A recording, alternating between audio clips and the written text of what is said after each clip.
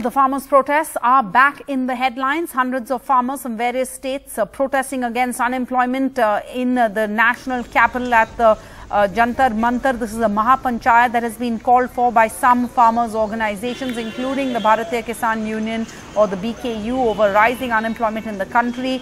Farmers were seen uh, overturning barricades put up by the police, raising slogans at the Jantar Mantar.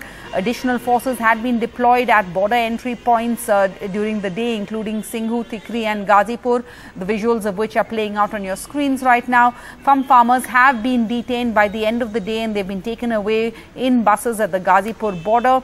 A major deployment was seen around uh, railway stations, uh, railway tracks, bus stations, and metro stations as well. Some parts of the national capital, we were told, witnessed traffic congestion as uh, police uh, the police were seen checking vehicles entering Delhi. Now, farmers' organizations have been demanding the proper implementation of the minimum support price or MSP for crops. They've also been seeking the withdrawal of cases registered against farmers during their year-long protests against the farm laws. Last week, the Samyukt Kisan Morcha had organized a demonstration in UP's Lakhimpur Kheri seeking justice in the 2021 violence case where eight people, including four farmers, were run over by the Union Minister Ajay Mishra's son in Lakhimpur Kheri in October that year. And on a Sunday, the farmer leader Rakesh Tiket was detained by the police at the Gazipur border as he tried to enter the national capital to take part in this Mahapanchayat.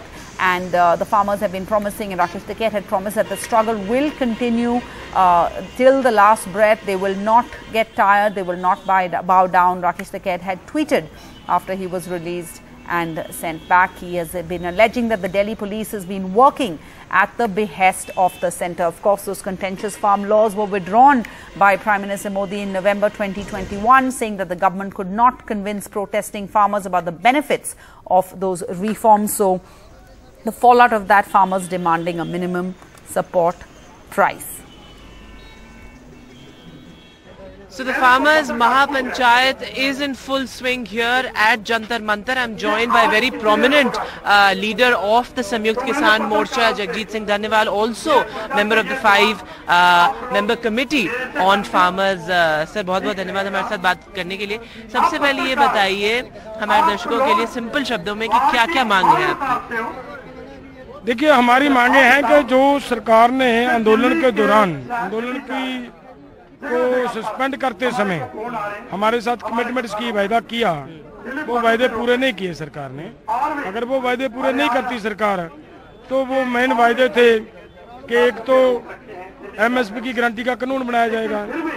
सभी किसानों के मुकदमे वापस लिए जाएँगे। बिजली शोध bill नहीं लाया जाएगा। लखीमपुर के किसानों को इंसाफ दिलवाया जाएगा। और शहीद परिवारों को कम्पनसेट किया जाएगा। और वो सभी की सभी मांगों पर सरकार यू टर्न ले चुकी है, मुकर चुकी है। अगर वो है तो ऐसे हालात में, ऐसे हालात में लोगों को आंदोलन के रास्ते पे चलना उनकी मजबूरी होती है। अच्छा एक बात ये बताइए कि आज सरकार ने एमएसपी पैनल ऑन एमएसपी जो है, उसकी high level meeting high level बैठक बुलाई है। तो उसमें पार्टिसिपेट करने से संयुक्त किसान मोर्चा ने क्यों मना करा? क्योंकि आप तो यही चाहते हैं कि कोई कंक्लूजन निकले। और वो उस कंक्लूजन को निकालने के लिए ये बैठक हुई। तो उस बैठक में आपने शामिल होने से क्यों इनकार किया? बहुत बड़ी बात है। देखिए, उस कमेटी का जो नोटिफिकेशन है, उसको पढ़ो आप।